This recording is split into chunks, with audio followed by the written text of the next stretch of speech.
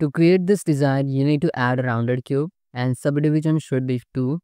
Then go to the top view and scale it along the y-axis. Then scale it along the z-axis. Then go to the edit mode and turn on the x-ray mode. Select this edge and Ctrl B, add a two segment bevel. Select these words and move them along the y-axis. Then select everything, mesh symmetrize. Then select this edge loop and use the set flow on it.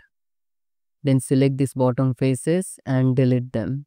Then select this edge loop and use the edge slide on it with a 0.2 factor. Then select that center edge loop and use the set flow on it. Then you need to add a few loop cuts out there to increase the topology and to get a good form. And then you need to use the set flow on them to maintain that good form. Then select everything and mesh symmetrize. Take the symmetry along the x and y axis. After that you will get this kind of form. Add one loop cut at here and use set flow. Then go to the top view and use the knife tool at here and create straight cut like this.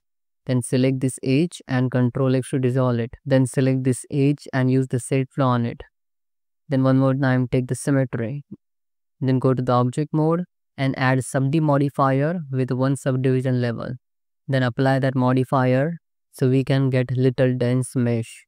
Then select these edge loops and scale them along the x-axis and give the value 0 to make them straight. And then use the edge slide to adjust their position a little bit. So just refine the form in this way.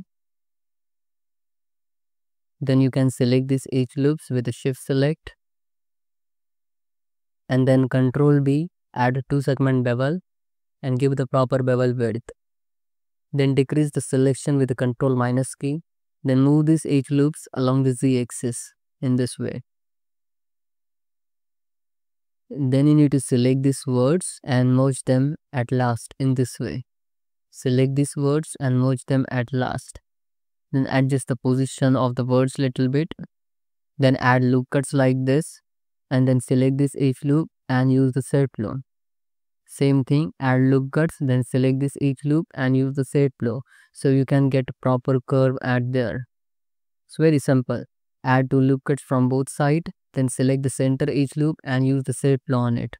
Then hit the control 2 to add the subd modifier. Select this edge loop with the shortest path selection and use the edge slide on it with a 0.2 factor. So you can maintain good curve at there. It's pretty simple and easy. Then select these edge loops with a shift select and use the set flow on them to maintain that good curve form. I'm going to turn on the matcap view. Then go to the edit mode. Then select these words and use the edge slide at there little bit then select everything and mesh symmetrize. Take the symmetry along the x and y axis. So you can get this kind of design which is looking really well.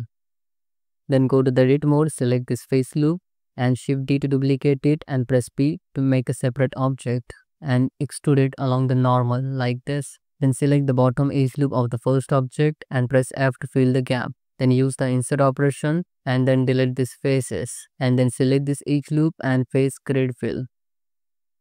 Then isolate it and select this edge loop and Ctrl B add bevel on it. Add 2 segment bevel and shape factor should be 1. Now you can see we are getting this kind of design. Select that outer ring, apply the scale on it and then select these bottom words and S, Z and 0. Scale them along the Z axis and make them flat. Same with the top words. And then select these edge loops and control B add bevel on them. Add 2 segment bevel and then add loop cuts like this and then dissolve these edge loops in this way.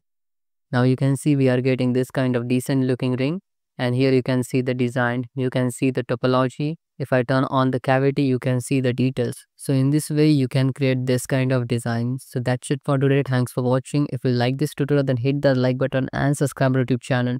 Bye bye. See you next video. Take care.